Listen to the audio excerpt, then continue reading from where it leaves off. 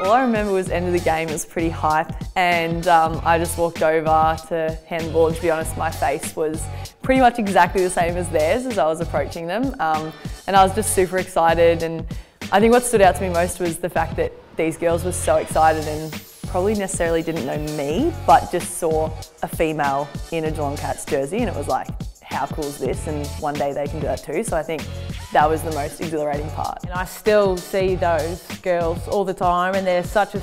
lovely group of girls and they're so passionate for the club and for our team and it's just a photo that's going to be iconic for, for our game and for our team for years to come, you just know that. I was then kind of randomly tagged in all these other people sharing it and then I think after that I realised how big it was for the game and for the league and I think just for women's sport in general and seeing what effect it sort of has on these younger generations. This was Michael Willson's photo, um, who is an incredible photographer. I think I was very lucky to be in the right spot at the right time and he's just great, he captured it so perfectly.